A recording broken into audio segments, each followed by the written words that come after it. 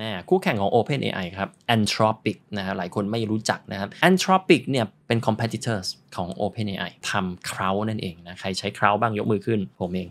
ผมก็ใช้นะฮะ ผมใช้เยอะนะ ผมใช้ทั้ง Crowd ทั้ง ChatGPT ใช้ทั้ง Gemini นะ ตอนนี้ผมใช้หลักๆ 3 ตัวนะครับ เพราะผมไม่อยากตกเทรนด์นะ ก็ใช้อยู่ตลอดนะ อยากจะตามข่าวนะครับ ตัวล่าสุดของ Crowd เนี่ยก็คือตัว Opus 3นะฮะ ใช้อยู่ จริง ๆ ผมชอบนะ Opus 3ถ้าถามว่าผมเทียบ Opus 3กับ ChatGPT 4แล้วกันนะ ChatGPT 4กับ Opus 3ผมชอบ Opus 3มากกว่านะเขา3มากกว่า แต่หลังจากที่ ChatGPT ออก 4.0 มา นะมันมีความ friendly มากขึ้น แต่ความฉลาดเท่าเดิมนะมีน้ำหนักในการอ่านเสียงอะไรดีขึ้นนะครับก็เรียกว่าทำให้โมเมนตัมมาอยู่ฝั่ง ChatGPT มากขึ้นนะทำให้ล่าสุดครับฝั่ง Claude เองก็ออกตัวใหม่มาชื่อ Claude 3.5 Sonnet นะฮะผมยังไม่ได้ลองใช้นะเดี๋ยวจะลองใช้ดูความฉลาดมากขึ้นอย่างชัดเจน เขาพูดอย่างนี้เลยนะ ความฉลาดมากขึ้นอย่างชัดเจน สิ่งหนึ่งที่ผมสังเกตเห็นได้นี่ความเห็นส่วนตัวหมดเลยนะฮะผมรู้สึกว่าในตระกูลเนี่ย Gemini ChatGPT เขาเนี่ยสามตัวเนี้ย Gemini นี่ด้อยสุดในความรู้สึกผม บางทีตอบอะไรเลอะเทอะนะฮะบางที ผมก็ถามถามเล่นๆเงี้ยตอบแล้วแบบคำตอบไม่ได้อะไม่ได้นะมันเหมือนยังไม่ค่อยฉลาดเท่าไหร่นะฮะ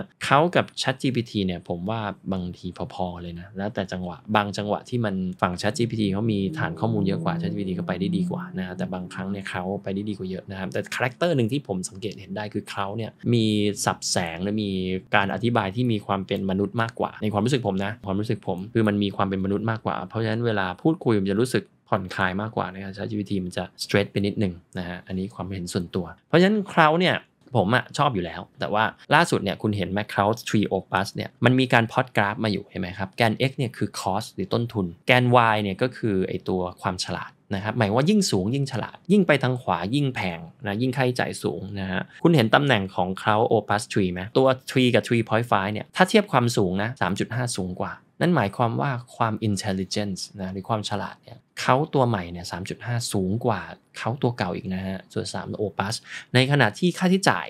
ค่าใช้จ่าย cost เนี่ยต่ำกว่า เพราะว่ามันอยู่ซ้ายนะฮะไอ้ทางขวานี่แพงโหต้องบอกว่า